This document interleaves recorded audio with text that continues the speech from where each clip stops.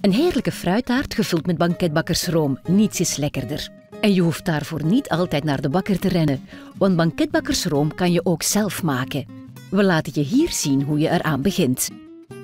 Eerst gaan we onze melk wat meer op smaak brengen door er vanillestokjes aan toe te voegen. We gebruiken zowel de zaadjes als de stokjes zelf. Om de zaadjes eruit te halen, snijden we de vanillestokjes in twee en schrapen we er de zwarte zaadjes uit met een scherp mes. De lege vanillestokjes zetten we even opzij. De zaadjes doen we bij de melk in een kookpot. Dat brengen we nu aan de kook. Als je melk aan de kook brengt, hou je het best altijd een oogje in het zeil, want melk kookt snel over. Af en toe eens roeren is de boodschap. Zet het vuur dan lager en doe de lege vanillestokjes in de pruttelende melk.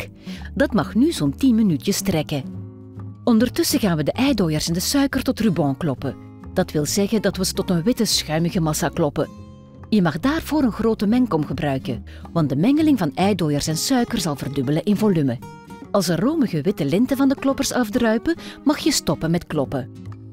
Daarna zeven we het maïszetmeel boven het eiermengsel en mengen we het er goed onder. Zo krijgen we niet alleen een luchtige mengeling, maar zal onze banketbakkersroom ook mooi binden. Nu nemen we onze kookpot met melk er opnieuw bij. We vissen er eerst de vanillestokjes uit. Daarna giet je een kleine hoeveelheid warme melk bij het eiermengsel. Roer de melk eronder tot je een papje krijgt. Dat papje mag weer in de kookpot met melk. Vervolgens brengen we alles opnieuw aan de kook. Roer ondertussen goed met een klopper, zo vermijd je klonters. Laat alles één minuutje koken en blijf de hele tijd roeren. Zo, onze banketbakkersroom mag nu een kwartiertje afkoelen. Dat mag op kamertemperatuur, want als je hem meteen na het klaarmaken in de koelkast zet, wordt hij te lopend. We gieten de banketbakkersroom eerst in een koude glazen kom. Daarna dekken we hem af met vershoutfolie.